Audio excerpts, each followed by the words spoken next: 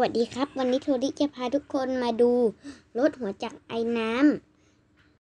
ำ C56 ตัวเล็กตัวรถ 702 เป็นรถจากไอ้น้ำที่สร้างขึ้นในประเทศญี่ปุ่น จุดประสงค์หลัก ของรถจากไอ้น้ำระยะแรก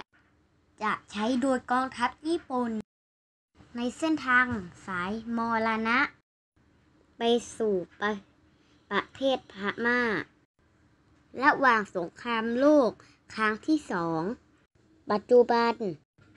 จอดเป็นอนุสรณ์อยู่ในประเทศไทย มีเจ็ดคัน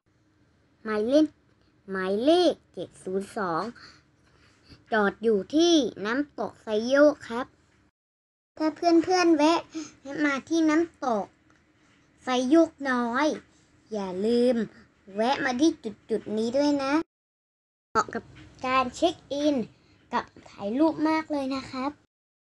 ไป่ะเดี๋ยวตามโทริขึ้นไปดูบนรถไฟกันนะครับ ตอนนี้โทริอยู่บนรถไฟนะทุกคน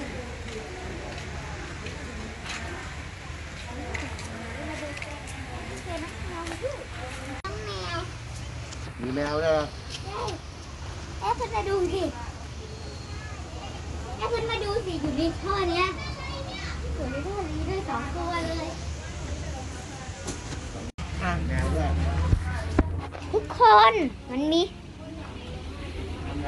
มีสิมีดูสิมีน้องแมวอยู่ในรูนี้ด้วย อีกตัวหนึ่งด้วยทุกคนว้าวถ้าใครชอบคลิปนี้อย่าลืมกด subscribe กดกระดิ่งเพื่อเป็นกำลังใจดีๆให้เราด้วยนะครับ บ๊ายบาย